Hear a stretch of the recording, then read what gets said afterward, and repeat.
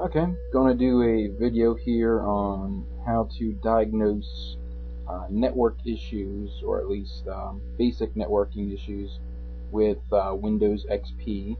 Um, this is for scenarios where you just can't connect to the internet, uh, or you're unable to connect to your local network. Um, this will give you some things to actually test out, check out.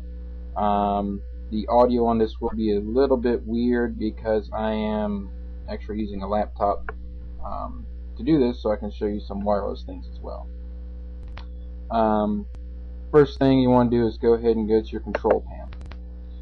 Um, if you're using a laptop uh, you will have at least two different network cards um, wireless card and a um, wired card. I'm trying to find my network connections. There it is uh, go under network connections and you should see the two different connections there. Um, if you are uh, physically plugging a cable into your computer um, to connect to the internet, uh, this is one of the first places you want to check. Uh, if you see local area connection and you see that the network cable is unplugged, uh, make sure your cable is firmly seated into the computer and check the other end, make sure it's firmly connected to your router. Um, try playing with the cable a little bit, um, picking it up, twisting it a little bit, see if that um, status here actually changes because as you do it, you will see that status actually change.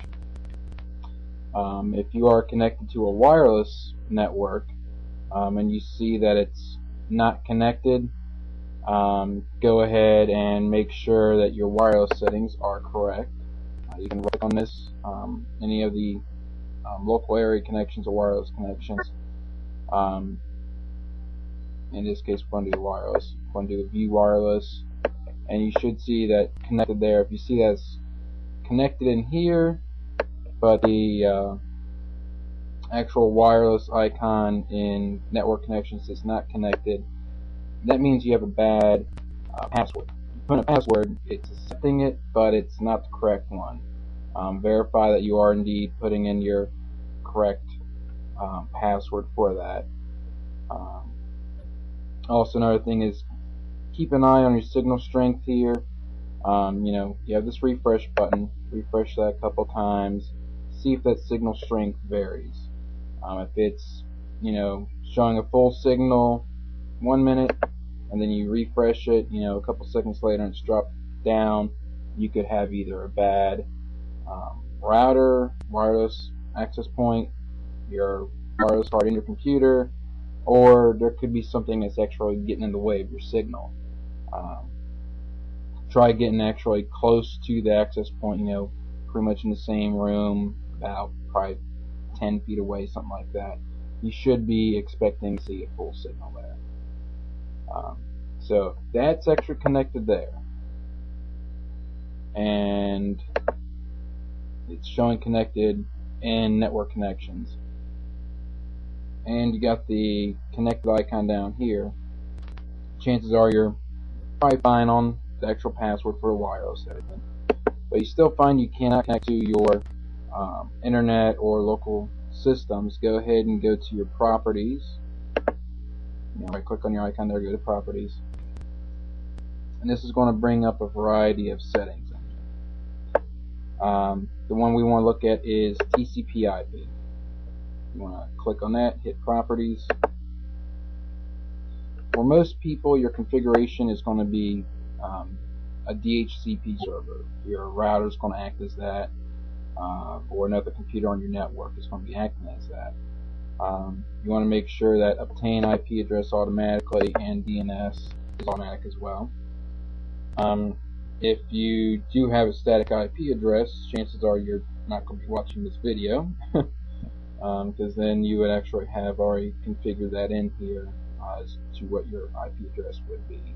But um, for most people, you're going to be on dynamic, so go ahead and put it on dynamic. Otherwise, check your IP address settings on uh, what those should be. And let's see. If you're having trouble finding files, printers, whatnot um, on your network, Make sure file and printer sharing is checked. Um, if it's not checked, it will not be used on that network card. Um, other things also as well. If you use wireless, go into wireless networks, uh, you will see a list of all um, wireless networks that you've connected to in the past and present. Make sure that uh, any of the ones that show up in here are not ones that are available to you at the moment. Because what will happen is like, let's say this link Linksys here. Um, if there's another wireless around me called Linksys, it would switch between my current connection and that Linksys. Um, it's going to basically do that depending on whichever it sees has the better signal. Uh, this will cause your internet connection or network connection to drop and sometimes once you're onto another network you're not going to be able to access things that are on your network. That's to be expected. Um, I recommend going through clearing out this entire list of stuff um, from time to time. Um, just keeping the ones that you actually use. And the next most common thing is I've found that some people will have their uh, network card disabled. Um, if a network card is disabled, um, you'll see the icon itself will be kind of grayed out and the incorrect. Um, I was looking at this icon at the bottom right, so um, I'll go ahead and disable my local connection so you can see that. See how it's grayed out. If you right click on it, you'll have the enable option. Uh, go ahead and make sure they're both enabled. Um, that was I don't know why it gave me that message because I'm not even trying to connect that. But um, make sure they're enabled. Um, wireless cards, you may see um, the option to enable it. You go through, you enable it. You still don't get a signal. Um, check your physical laptop for a connection. Uh, just a connection, a switch. Uh, usually it's on the right side, sometimes it's along the front uh, for the wireless card itself. Uh, you can flip the switch on that to turn the card on and off. I have one uh, on this laptop here and it's actually a keyboard shortcut.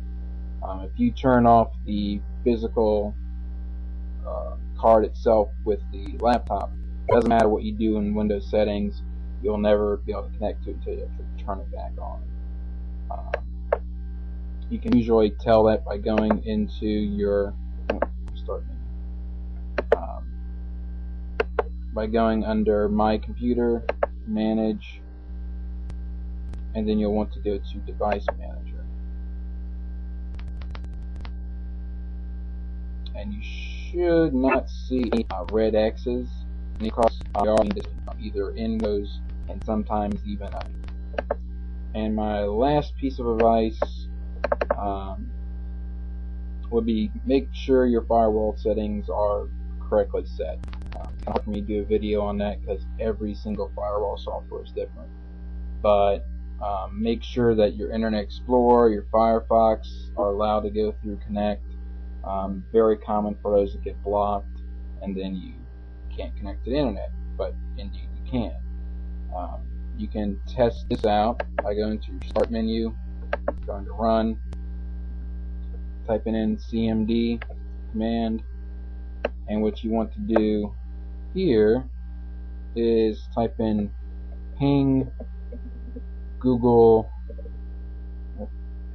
spell google right otherwise it's not going to work Dot com and I'll do a quick ping test and you'll see that you are indeed connected to the internet and if you get that, but your Internet Explorer or your Firefox can't connect, you double check your firewall settings.